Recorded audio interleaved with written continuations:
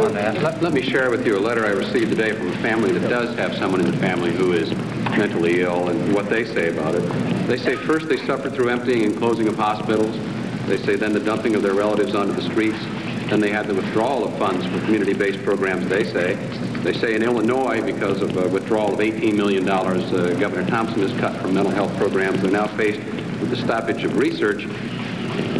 What what would you tell these people?